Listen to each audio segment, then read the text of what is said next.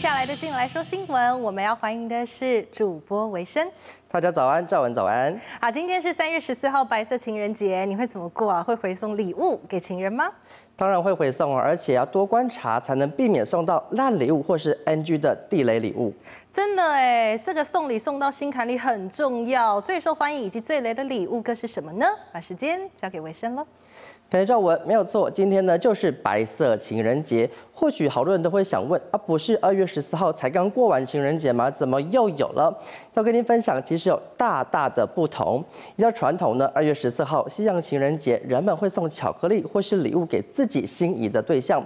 而后呢，延后延伸延伸出来的白色情人节，就是在整整一个月之后，对方回送的日子。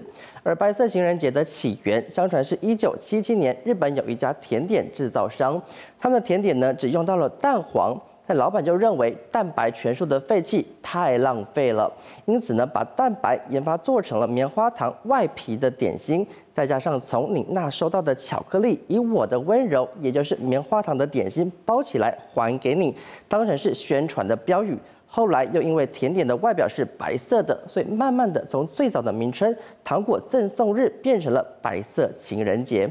而根据呢网络大数据的分析，最受欢迎的礼物前三名就是珠宝、饰品、巧克力还有旅游。因为呢饰品是实体，又可以常常佩戴；而巧克力成分含有苯乙基胺，能够刺激大脑释放多巴胺，带来幸福欢愉的感觉。而像是旅游，有一段话是这么说的。身上最浪漫的事情，除了和你一起慢慢的变老，就是一起牵手走遍全世界，看遍无数的美景。因为陪我一起到各地记录爱情吗？也由此可见，为什么旅游会上榜了。至于呢，送礼的地雷，根据统计，如果想送宠物、马克杯和科技产品，就要小心了。因为呢，宠物要先考虑养育的责任，有些人会觉得负担好重。那如果是事后分手了，又该怎么办？而应有照片的马克杯以及三 C 用品，就要看生活中是不是用得到，见仁见智了。呃学者就透露，其实不管送什么，都属于捷径行销的范畴。那透过静新闻的镜头，带您过节之外，也一起看懂门道。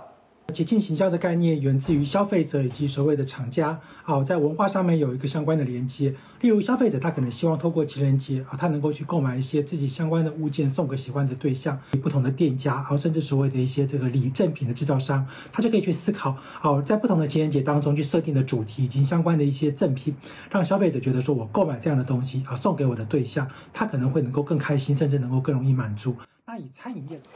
而根据专家解读呢，情人节可以视作是商业手法，也能当成是感情增温的秘密武器。而餐饮业当然没有放过这波商机，像是夏目尼铁板烧，只要平日消费两克套餐，手机号码的最末码符合零二五八任何一个号码，就送一只波士顿的龙虾。而河间粮仓和乐仙的餐酒馆。分别支出身份证号码，有三一四任两个号码，好公主报计时活动就送牛排，还有生蚝等海鲜。而除此之外呢，您知道一年当中有几个情人节吗？其实有超过十二个，所以有人说呢，几乎每个月都在过情人节。那在这边跟您分享其中比较特别的，像是呢四月十四号，离现在比较近的是黑色情人节。那当天主要是黑单身的人会穿着黑色的衣服外出，甚至是到餐厅用餐、看电影等约会行程。那强调呢，即使没有另外一半，但自己就是自己一辈子的伴侣，所以要爱自己。呃，银色情人节就在七月十四号，源自于韩国，很多情侣会在这天送银饰，确认彼此的关系。至于每年的八月十四号，就是绿色情人节，它其发源于东欧的捷克和斯洛伐克等国家。主要呢倡导环保和乐活的精神，会减少使用包装，还有塑胶等，也可以快乐过节。而交往之后，想进入到下一个阶段的观众朋友，在网上就分享了，今年很适合，因为呢在二零二三年恰逢双春兼闰月。说历法呢有十三个月之外，闰也有滋润丰收的意思，等于是喜上加喜。但准备工作就不能太马虎了。他说从结婚的前半年甚至一年就要开始操办，它包含日期、场地。贵宾名单等等都是大工程，期间还要一直确认喜饼、礼服流程以及细节等，就连外表健康状态都要时时的注意。但随着防疫管制松绑，婚宴的商机也逐渐的回温。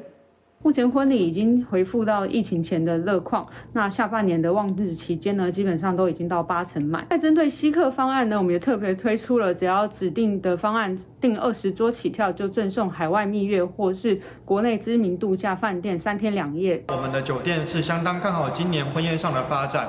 今年二月份，我们与婚礼顾问公司共同举办了千人的婚礼体验活动，现场更有八十组的新人下定预定要来举办婚宴。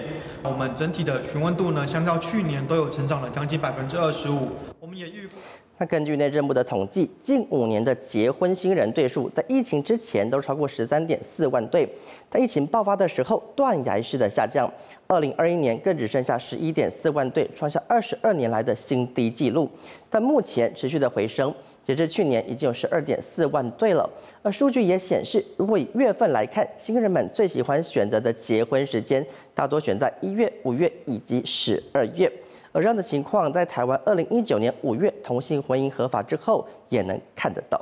台湾的这个同婚的通过，它是亚洲第一次民主法治或公民社会的成熟度上，台湾是遥遥领先，而且是首屈一指。继承的问题，这也不再是问题，它可以光明正大的，呃，透过法律的制度，然后由我另外一半来继承，然后我可以主张我的权利，而不是要嫁接在其他的这样的一个法律关系。